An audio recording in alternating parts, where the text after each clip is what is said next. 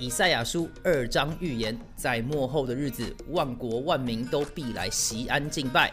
国度基业将在十一月五号到十四号举办十天九晚的荣耀新人经典走进以色列之旅。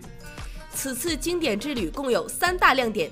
第一大亮点是我们将观光经典的旅游景点，包括令人心醉神迷的耶路撒冷，参观举世闻名的耶路撒冷老城区，特别是犹太人和列国游客都要前往的西墙，参观历史古迹大卫城，犹大地的神秘苏西亚，耶稣复活之地空坟墓，耶稣取老祷告的克西马尼园和即将再次降临的橄榄山。我们还将漫游加利利湖，参观耶稣时代的会堂，并前往约旦河受坚信礼，参观犹太人生活的基布斯，去体验死海漂浮的乐趣，还会去大卫藏身之所迷人的隐基底。第二大亮点，我们将有关爱犹太百姓的文化活动。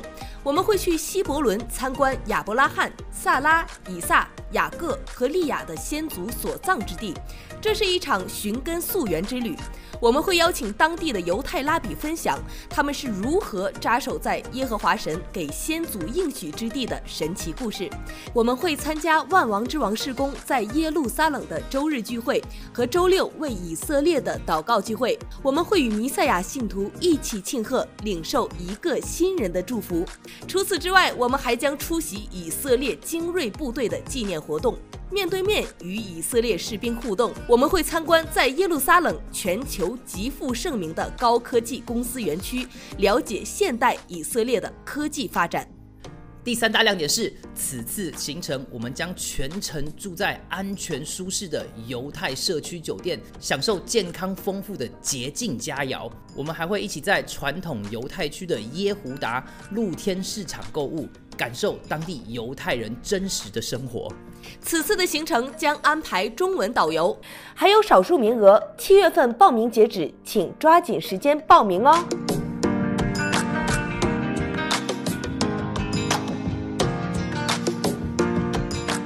世界末日正式开始了，我们的地球正在倒数计时当中，因为五年前有个先知，OK，Saint。Greta Thunberg，OK，驾着帆船横跨大西洋，透过一个推文告诉我们，现在这个推文已经被删除了。二零一八年六月二十一日的预言，OK，一个顶尖的气候学家警告我们，气候变迁会毁灭人类的存在，除非我们未来的五年全面停止使用石油。How dare you！那为了公平起见，他并没有说会在五年之后，OK，就是现在了，OK，彻底结束，只是说气候变迁会歼灭所有的人，除非我们过去这五年停止使用石油。那这是一个很重要的一个预言呐，对于左派来说，这简直就是约拿去尼尼微城跟他们说再等四十天，OK，尼尼微城必颠覆啊。但是我们这些人有罪。没有对左派认罪悔改，所以我们照样烧石油，照照样开着我们的汽车到处跑。所以这边告诉大家一个好消息，就是不管我们现在是已经死了，或者是我们死定了，根据这位左派的先知，五年后，现在我们没有必要要花任何的精力去对于气候变迁做任何的改变，已经太晚了。五年后，就算我们现在已经停止开车、停止用暖气、停止世界的供应链，也没有用。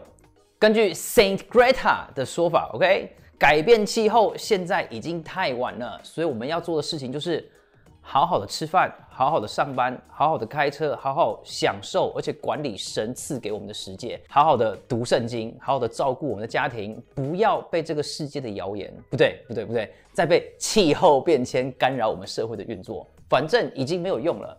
在我们开始之前，请你直接到下面参加我们 Copy 的会员，直接支持我们现在做的事情。不要把你辛苦赚来的钱给恨你的那些公司、恨你的小孩、恨你的家庭、恨你的信仰、恨你的价值观的公司，请拿你的钱来支持我们这个传达正确价值观的频道。这个世界的价值观正在改变，年轻人正在对于左派的掌控。的世界产生反感，现在我们就是要来领导这些年轻人的时刻，告诉他们圣经的价值观跟世界观，神的大能、圣灵的感动、耶稣的慈爱，全部写在圣经的律法当中。请一起来支持我们 AI News 的施工，让更多的人可以跟我们一起翻转这个时代，归向耶稣。加入我们会员之后，就可以参加到我们 Discord 的聊天室，里面百分之一百都是跟你一样志同道合的人。不只是这个样子，现在我们还有个特殊的群组，会在我们 Discord 聊天室里面。你想要 homeschool 你的孩子吗？homeschool 的资源要从哪里来呢？我们请了两位母亲，就是之前上节目的 Sunny 跟 Lily 两位 homeschool 达人，一起来帮助你夺回你孩子的教育，一起翻转这个时代。请帮我们按赞、留言、分享这个影片，当这个新闻频道的后盾，让我们可以一点一滴的翻转时代，从自己的家庭开始，建立基督的价值观在我们的社会当中。我是 Eden，欢迎回到今天的 AI News。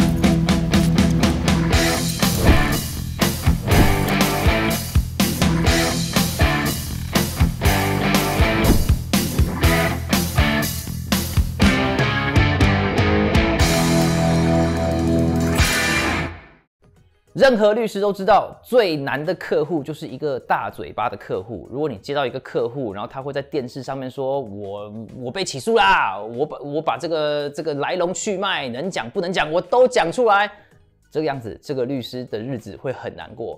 很不幸的就是，川普就是川普，他不会听他律师的话。我一开始认为说，川普绝对不会有任何的问题，他绝对可以顺利的参选二零二四的总统大位。左派指控他的东西根本就不成立，直到上个星期他上了 Brett Bear 的节目。全世界最困难的工作，大概就是川普的律师跟拜登的白宫发言人了。因为这两个工作，这两个工作的前提就是你的客户要闭嘴才可以，不要把没有必要的资讯讲出来，不要把不明确的东西抖出来。这个是每个律师都知道的道理。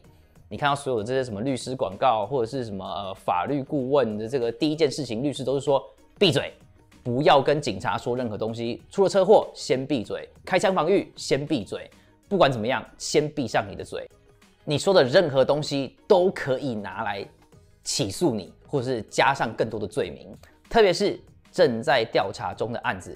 我不是律师，我唯一读过的法律大概就只有呃旧约的六百一十三条法律。但是连我都知道，一个在调查的案子当中，我需要做的事就是闭上我的嘴。就算我没有读过法律系，电视上也都是这个样子讲的。但是，川普上了 Brett Bear 的节目，川普之前在这个诉讼案上面全身而退的几率非常高。但是他上了这个节目之后，需要解释的东西变得非常非常多。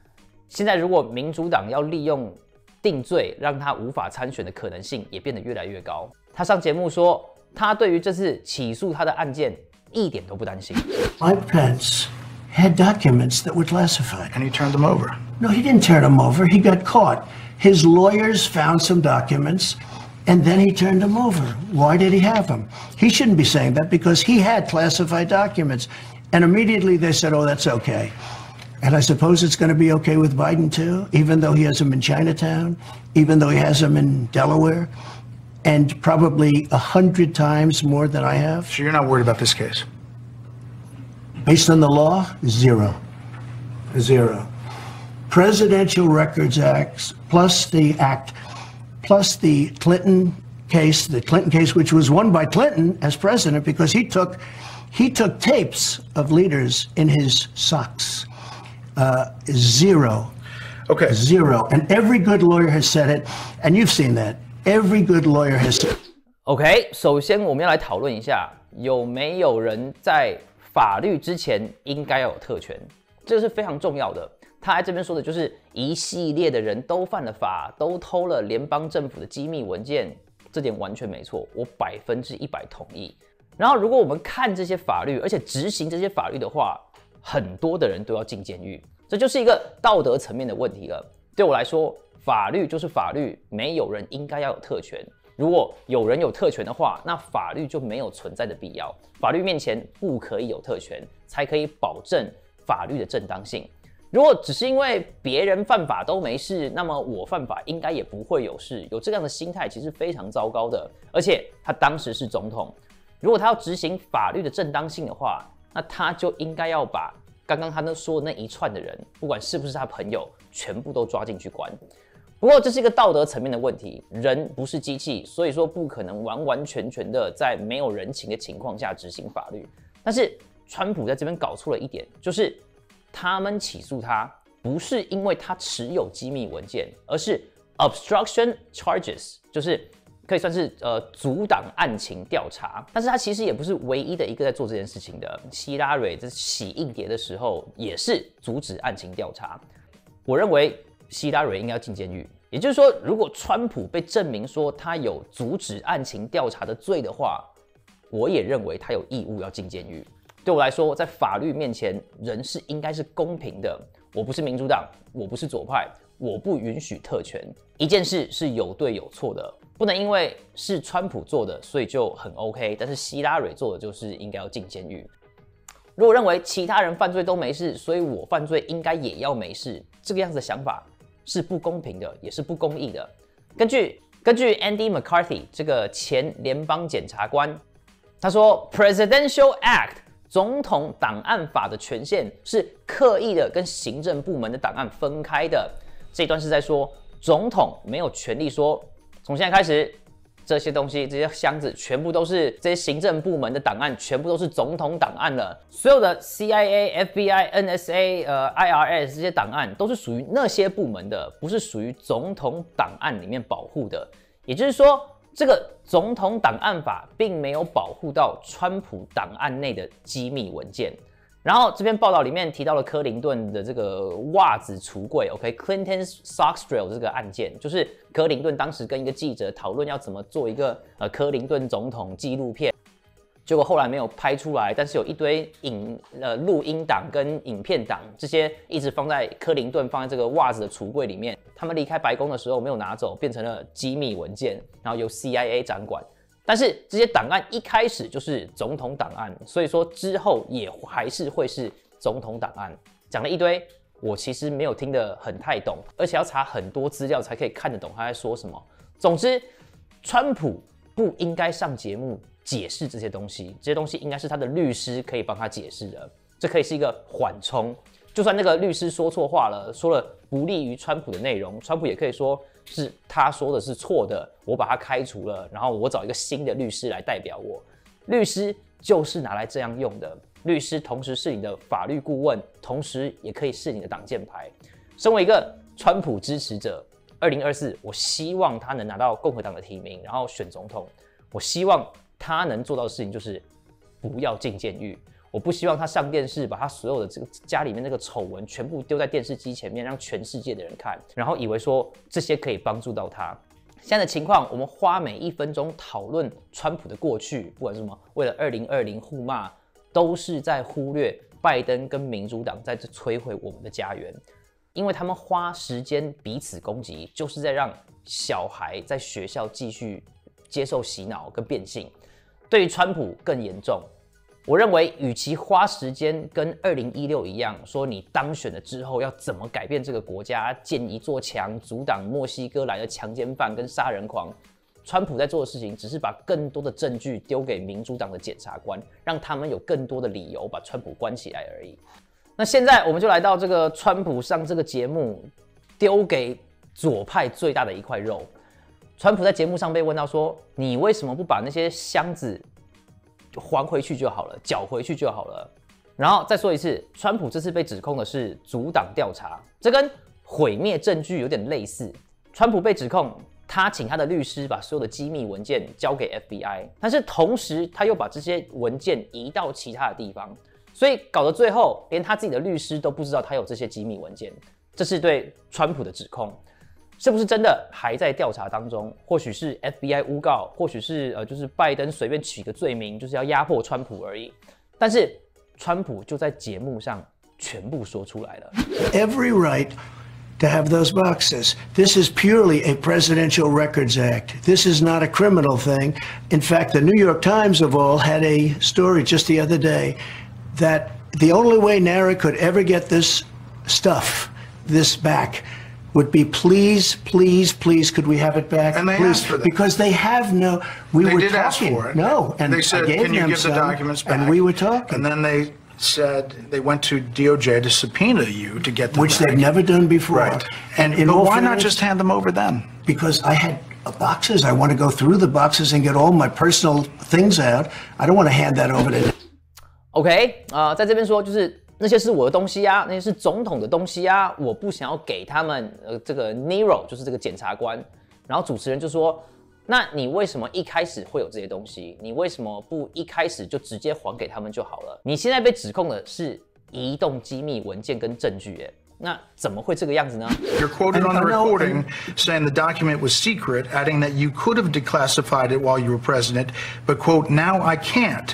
You know this is still secret, highly confidential. And the indictment cites the recording and the testimony from people in the room saying you showed it to people there that day. So you say on this on tape it says just the opposite that you can't and, declassify and it. So you, why have it? When I said is. when I said that I couldn't declassify it now, that's because I wasn't president. I I never made any bones about that. When I'm not president, I can't declassify. And that's what you said. You didn't I said declassify that. it. I, I, said no, no. I said I couldn't. I de- could have but that wasn't a document, it. Brett. There was no document. That was a massive amount of papers and everything else talking about Iran. OK 啊，这边他现在说的是两件不同的事情啊。第一个，他说的就是对我拿了那些箱子，然后呢，我把这些箱子移来移去。你为什么要把这个说出来？ 我跟你装作不知道就好啦。甚至你之后说什么哦，搬家公司不小心搬错了，这都可以当成一个很正当的理由。你为什么要把他们指控你的东西说的这么清楚明白？对，他在那边说的是，呃，这是我的东西，所以我要整理我的东西是很合理的啊。但是这个就是他们在指控你的罪名，然后他们启用这些文件来起诉，里面是什么？没人知道，跟川普有没有关系也没人知道。然后他们就去抄了你家，然后找到了这些机密文件。但是现在川普却出来说，对，那些东西是我放在那个地方的，不要把他们指控你的东罪名讲得一清二楚的说出来，就是你在做的事情啊！为什么要这个样子？为什么川普要这样子做呢？然后他说的那些文件的内容，OK，他之前说就是哦，这些东西呢是本来他当总统的时候可以解密的，但是他现在不是总统了，所以他不能解密，他也不能给其他人看。现在他说的就是。那些东西，那张纸，那堆纸，只是一般的纸而已，一般的文件而已。也就是说，他拿在手上的可能就是呃，《自由时报》《中国时报》啊，I don't know，就是美国的任何一个报纸。然后说，我本来可以解密这些文件的，但是我没有。现在这些文件都还是机密。我现在不是总统了，但是这些机密还在我的手上。我觉得，呃，很有可能就是。他说的是真的，OK，每个人都有这样的一个经历，就是一群男生在一在一个酒吧里面一起喝酒聊天，然后就是有一个会很爱吹牛逼的，就是说你看这个什么十七世纪的什么什么什么东西，然后呢永远都放在我的保险柜里面，很抱歉不能拿出来啊，光线照到会怎样啊，被别人看到会怎样啊，或或许他就只是在吹牛，或许他的保险箱里面就真的什么都没有，他只是在吹牛，让别人可以羡慕一下。这一切都非常糟糕。在美国的法律里面，我们有规定，不能让被告站上台宣布自己的罪名，定自己的罪。每个罪犯就算认罪，也要搞得水落石出。这个就是避免人被逼着背黑锅之类的。所以这是美国宪法保护的人权之一。那大家知道有什么是没被保护的吗？就是自己上电视，让这些东西变成一个影片，把这一切变成。检察官可以拿来定罪的证据，刚刚我们剪下来这些片段之后还会看到，OK，Jack Smith 跟他这个检察官团队铁定跟我们看了同一场访问，然后写下一堆笔记，然后把这些川普自认犯案的这些证据送到法院里面，当成法院的证据。如果你是川普的支持者，如果你希望川普进去二零二四，你会希望川普重返白宫的话，你要知道就是现在的情形。如果川普不能进白宫，如果川普这次真的会被关监狱，这真的不是什么深层政府，他们真的可以用川普讲的刚刚那一段，OK，甚至那些机密文件根本就什么都不是，就真的就只是川普拿来擤鼻涕用的卫生纸，不小心掉到一箱机密文件档案里面的箱子里面。或许川普真的没有犯任何的罪，但是他们可以用这些机密的鼻涕纸成功定罪川普，请大家帮川普祷告。希望他下次被问到同样的问题的时候，他可以说这些是正在进行中的诉讼案，我不方便回答。有什么事情问我的律师就好。然后好好的讨论二零二四他要怎么样开除掉我们现在深层政府的这些人。好，讲完这个有点严重的新闻，来点有趣的。有一个东西是比宗教信仰还要更难达到共识的，不是性别，也不是什么二零二四谁选总统，也不是什么移民政策、同婚、堕胎之类的东西。这个东西是只有美国经济不好的时候才会出现的，只有美国经济危机的时候才会被拍到。这个东西就是外星人。有些人认为外星人是真实存在的，他们来用一个盘子可以把人接走，接到那个盘子里面做实验，然后各式各样的阴谋论，什么天后星人、蜥蜴人、小灰人、阿努纳奇，OK？那有些人是正确的，对，例如像我，OK？我们知道说。外星人纯粹是胡乱的，我们在这个宇宙当中不是孤单的。但是如果限制的是有形有体，然后有逻辑思维、有灵魂的话，那我们人类就是这整个宇宙当中的唯一。然后当人在天空上看到这些盘子，看到这些绿色的人的时候，其实他们是恶在跟恶灵对话，基本上就是在跟邪灵沟通。之前末世先锋这个炮长老有办一个特会，不知道大家有没有在这个 YouTube 上面看到？大家可以去自己去找。很多人会呃嘲笑吗？或者是试图辱骂我这个样子单纯的想法？他们会想要嘲笑我们这些比较现实的人，因为他们是现代左派、无神论，还有有着这个世俗价值观的左派。这些人没办法想象有一个形而上，OK metaphysical 的一个事实，就是那些人。是纯粹的物质主义的人，认为所有东西都一定要是有形有体的，都是要由形体组成的，所有的活物都是一定要有血有肉的，可以分解成这个化学分子的那些人，简单说就是进化论的那些人啊。那这是一个很容易破解的东西。对于人类的一生当中，几乎所有重要的东西都不是物质化的东西，希望、梦想、呃，爱。数学、道德、律法这些东西都是重要的，但是都不是呃实质化的东西，或是立体的东西。但是现在我们的社会跟教育在教导我们的唯物主义，就是说这一切都是意外发生的，这个世界没有造物主，一切都是某个大爆炸的意外，所有东西都一定有形有体。所以当我们遇到这些外星人的时候呢？也一定是有形有体的，不可能是一个灵体的方式来出现。那现在有一位大哥叫做 Luis Elizondo，E Eli Elizondo，来自 New York Post 纽约邮报，他是这个这个前美国国防部的这个情报员。他说他是 AATIP 的执行长，呃，二零一零年到二零一七年专门管辖五角大厦对于 UFO 飞碟的部门。那这个人呢，是不是真的不知道？但是前参议员、多数党领袖 Harvey Reid 出来说，没错，他就是之前政府的官员啊，他是个有头有脸的情报员。那这位 Luis Elizondo 对于这个外星人了解是这个样子的。I had one, I remember the conversation very well. Um, this is a person I respected tremendously, very, very senior person. He told me, he said, Lou, I want you to stop, stop doing this. I said, okay, sir, I, I, certainly can, but may I ask why? And he says, well, we already know what it is. Now, at that moment, I, I honestly thought maybe it was our own technology and I was running up against some super uber secret sap and, uh, you know, they were telling me to stop. And I said, okay, sir, so, so it's ours? And he said, no, that's not what I'm saying. And he said, uh, he asked me point blank, have you read your Bible lately? And I wasn't quite sure where he was going with that. And I said, well, sir, I, I, I I think I know what it says. What, where are you going with this? And he said, well, then you would know that these things are, are demonic and we should not be pursuing them. Yeah. And, uh, I, I, he was, he wasn't kidding. He was, that's exactly how, how he felt. So this is a Pentagon. this is a D- Department of Defense official uh, saying, stop looking at UFOs because they're demonic. Correct. Uh, 对。没错，不只是我们，OK，包括五角大厦里面一位职位崇高的、大家都尊敬的一个执行长也这个样子认为，就连他也知道那些东西是什么，就是外星人，其实就是邪灵，就是恶魔。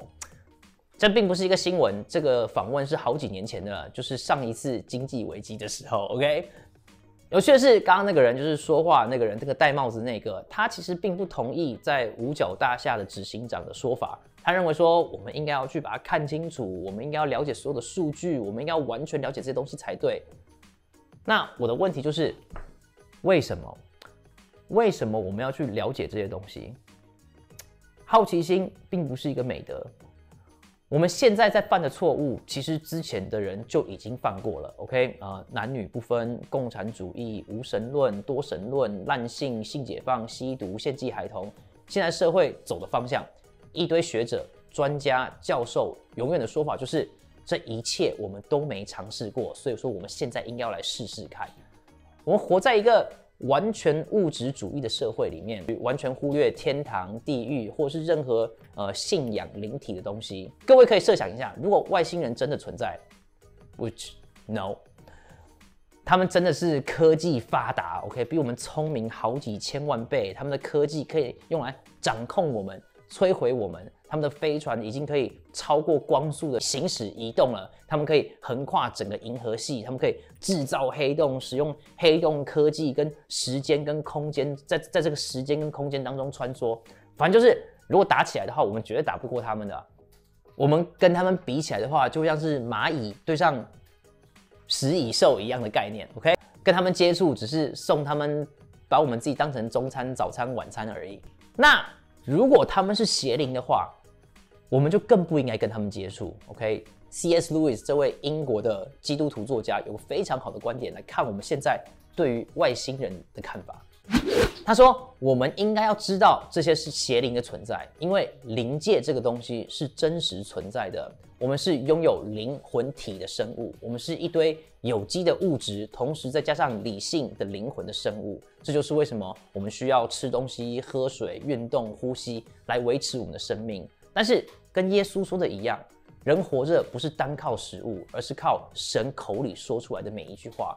这就是为什么我们可以用理性思考。”来自想这些东西，想说什么是正义，我们可以呃创造艺术品，可以建立一个文化。也就是说，我们这两种生活方式都是必要的。生物的需求跟灵魂的喂养，有些东西是纯粹物质的，它们没有任何的灵魂在里面。例如像说一块石头，OK，就连动物也是这个样子。我们不会期待动物可以理性思考。如果今天一只狗咬了你，你不会把狗告上法庭，然后要求他赔偿，或者是把它关到监狱里面。然后有一些东西是纯粹灵性的东西，例如像说我们的思想、我们的欲望，其中就包括天使跟恶魔这些东西是会实体化的，就像我们可以把我们的思想实体化一样，把我们的欲望实体化一样，天使跟恶魔他们也会实体化。基本上所有的人、所有的文化都知道这些东西，就是为什么每个文化都会有所谓的神兽。OK，献祭诸葛亮会创造出馒头，只是为了要献祭，把呃肉用面粉包起来，然后当成是蛮人的头颅献给那些邪灵。也有说法是那是馒头的来源是欺蛮河神的头颅。每个文化都知道灵体是真实存在的，直到。进化论出现之后，然后大概在一百多年前，左派创造了这个进化论，侵入了我们整个教育系统，教育出来一堆相信四亿五千万年前不知道为什么石头开始长脚，然后变成人的教育。所以我们要怎么看外星人？C.S. Lewis 的观点非常棒，就是认知他们的存在。然后他们是邪灵，我们要小心。这些邪灵的目的就是要把我们拖到地狱里面，撕裂我们的灵魂，让我们永远跟神隔绝。但是我们不应该花太多时间在他们身上，我们不应该把人生的重心跟注意力放在这些东西的上面。有点类似，就像说你家有虫、有蚊子、有有苍蝇，我们要知道这些。虫子，OK，跳蚤的存在，我们要把门窗关好，窗户要装纱窗，然后看到它们的之后要买杀虫剂，把它们全部杀掉，用卫生纸把它们捏死，然后放到那个马桶里面。但是我们不应该花一堆时间在那些东西上面，只要把它们隔离就好了。这个就是我认为我们应该要怎么样去看待外星人，但其实他们是邪灵的观点，OK。这样子的观点也应该在我们的生活的每一个地方。我们要怎么样看这些政治人物？我们要怎么样看呃这些娱乐新闻？那些丑闻，什么黄黄子佼、Hunter Biden，甚至呃，我们要怎么样看川普跟这个二零二四的选举？我们要怎么看这个林恩派跟福音派每天吵不完这个东西？甚至左派的圣女 Greta Thunberg 对于呃气候变迁的预言，这些东西都不应该是我们生活的重点。我们的生活重点应该是我们要怎么跟神一起建造一个好的家庭，怎么样保守我们的生活是符合世界的诫命的？我们要怎么样更深的认识神？我们要怎么活着？不是单靠食物，而是靠神口里说出的每一句话。我们要怎么守护我们的孩子跟我们的家园？我们要怎么教育？如何教育我们的孩子？透过在家庭教育守护他们的价值观，帮他们找到命定。我们要怎么变得更刚强？我们能做的事情太多了。关于 LGBT 的议程、家庭教育、孩子的价值观，我们跟我们的邻居的关系，还有现在的什么人口贩卖、色情泛滥、教会软弱。这些都是我们可以去行动的，我们可以去打击的，我们可以去收获的合场。所以这些东西才是我们应该要在乎的。其他的东西都跟外星人一样，我们要知道就是他们存在，但是不要花太多时间在他们身上。就跟 AI News 一样，我们想要透过这些新闻来看圣经的价值观，而不是应该把这些新闻当成是我们害怕、无奈、放弃的理由跟借口。我们的目的是要建立更刚强、更无畏的基督徒，而不是让我们的观众活在政治或者是敌人下面的阴影。所以可以说，我们的新闻只是让大家点进来，目的是想要让大家看到这些新闻背后圣经可以带给我们的启示。就跟一开始提到川普的新闻一样，这个诉讼案只是个干扰。还有什么新闻在报的什么铁达尼号探索号沉到海底，那些只是魔鬼的攻击。花太多时间解释，可能会说错很多话，而且掉进魔鬼的陷阱里面。请大家持续的帮川普总统祷告。